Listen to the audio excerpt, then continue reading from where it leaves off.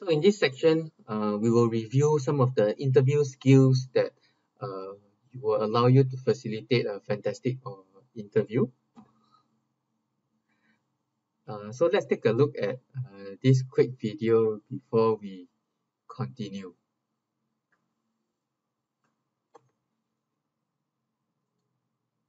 The five whys is a questioning method to reach the root cause of a problem.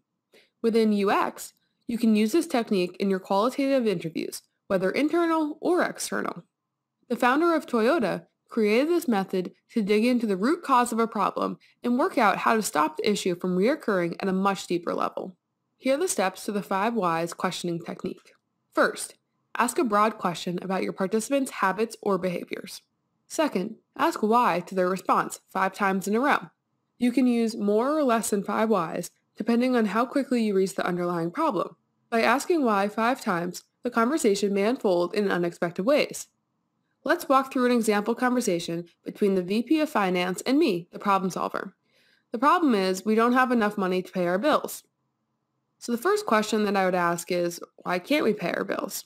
And the VP would respond saying, our invoices went out late so we didn't receive payment from our clients, so now we can't pay our bills. Then I would ask, well, why was it late? VP would respond, well, we forgot to send it out on the first. Then I would ask, why did you forget to send it out? And the VP would say, because I was on vacation until Monday the 2nd. So then, of course, I would drill in and understand, why didn't you send it out on Monday the 2nd? And the VP would respond saying, because my boss couldn't approve it. I would drill in deeper understanding why couldn't he approve it? And the VP would respond saying because he was traveling. Now we've made it to the root of our problem. So our solution is that more people need access to approve invoices. Advantages of this method are that you'll get to the root cause of the issue. By constantly questioning your subject, you'll dig deeper into the issue. It's an easy method to implement since you're only asking simple why questions. However, a limitation of this method is that it can feel invasive. When you're constantly asking why, it may feel like you're a little annoying. Thanks for watching. Hit the subscribe button for weekly whiteboard videos. Okay, so in the video, we talk about why we want to use the five whys. It allows us to reach the root of the issue and uh, it provides us a way to get to know the user slightly better. So how to use the five why and why five whys? So let's take a look. So in this example, uh, we have an apps developer trying to conduct an interview with a user to find out the reason for using a certain news app. So if we look at the flow of the interview, uh, the interview asks, how do you read the news? The participant replies saying, I have the BBC and Sky News apps on my phone. Why those apps in particular? The participant replies by saying they are usually the quickest to break news stories. Why is breaking news important? Participant feels like he wants to feel up to speed with the. And finally, why do, does he think that it's important to be up to speed? Uh, participant reveals that he doesn't like being the last in his friendship group to hear about these things.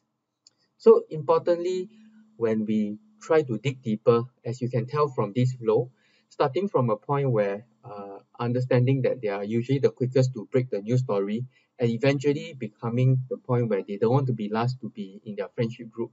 What are some ideas you can uh, think of to address that? And how would your idea differ now that you know that hey he doesn't want to be last?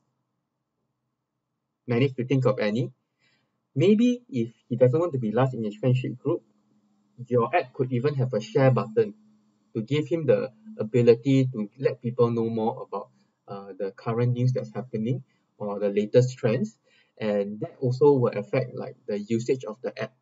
So that is why uh, if we didn't find out about this being last in friendship group to hear about things uh, our solution may not be as robust as uh, can be Another example, uh, when we asked a lady during one of uh, our workshops what was her favorite activity to do during COVID, she replied saying that she likes to do activities. And when we asked why, she replied saying that she would like to spend quality time with them. And being design thinkers, uh, we decided to uh, ask probe a bit deeper and ask a few more whys. And what we found out was that from liking to do things with her kids, why they are getting older, she like to spend quality time, and finally, in the last why, we realized that when we asked why for the last time, we realized that what she actually wants to do is to be able to coach and develop them. And that gives us more insights about like why she likes to do this activity. And it's the, really the coaching and development part that she's looking at. So some tips on using the five whys. Try to build on the interview's reply to probe further. So for example, if they say, hey, I don't really like this product. So then we can ask, why is it that they don't really like the product? And if they reply saying that, you know, the product is very heavy and too big for me. So then we might proceed to continue the conversation by asking, you know, uh, why big and heavy is an issue for that user. So that allows us to dig deeper and try and identify really root issues or concerns from our users. So at the end of the day, what we are trying to achieve is we want to actually identify the needs of the user.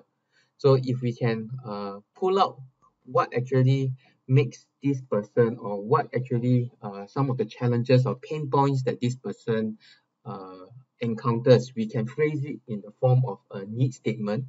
And to do that, we will eventually uh, use this GMAP template. So this is a portion of GMAP template that you will be working on later. And what we need to fill is whatever quote that we started with. So for example, uh, if the quote was uh, about doing activities, then the next why would then be uh, she wants to spend quality time and the following why it would be the coaching and development part. This quote why why why only is only required for part three of the interview where we talk about you know what are the possible guiding questions. So next we will go on to the interview process and uh, I look forward to seeing you in the next video.